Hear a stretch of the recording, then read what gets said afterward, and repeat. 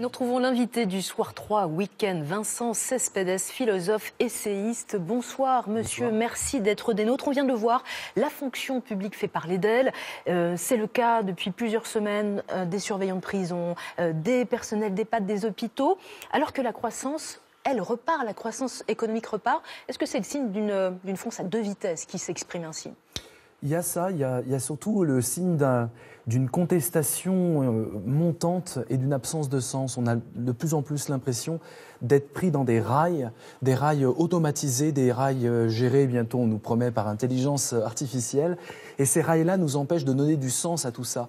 Et ce, dont on souffre, à mon sens, c'est vraiment l'absence de récit fédérateur.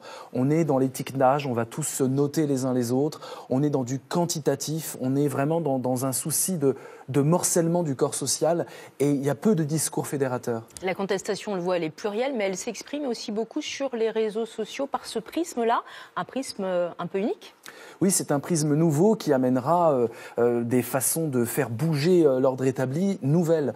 Aujourd'hui, la société civile se cherche, elle a des points communs malgré sa disparité et ses idéologies différentes.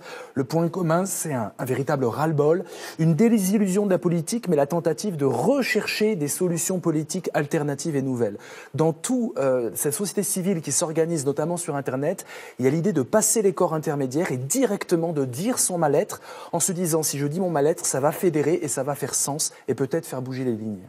Justement, et après, bouger les lignes, sérieusement, c'est, est-ce que ça peut être le cas? On l'a vu avec euh, tout est parti euh, récemment, balance ton port, maintenant c'est balance ton hosto, pour dénoncer les conditions euh, déplorables de, certains salariés des hôpitaux publics. Ça peut aller plus loin?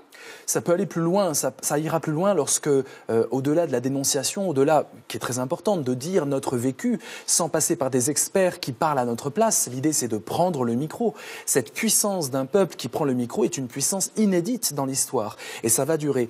Au-delà de ça, il va s'agir évidemment d'expérimenter des choses nouvelles. En fait, par rapport au règne de la quantité, de la technocratie, des experts qui décident, euh, j'ai l'impression que la société civile veut multiplier les expérimentations, la possibilité de se tromper, d'échouer, mais au moins de tenter du nouveau et d'imaginer. On a soif d'utopie, on a soif de rêve, on a soif un peu de poésie dans ce monde. Et qui peut incarner euh, cette euh, colère montante Il faut un homme, une femme, ou, finalement on s'en passe?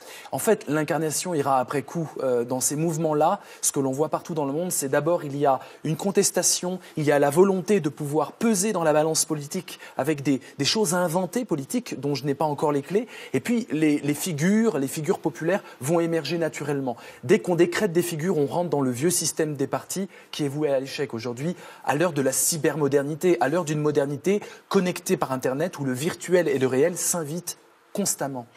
Euh, cette euh, illustration euh, virale de la contestation, elle vient contredire aussi la dialectique plus commune de nos, de nos élus, ces deux mondes qui se font face, qui ne se comprennent pas nécessairement?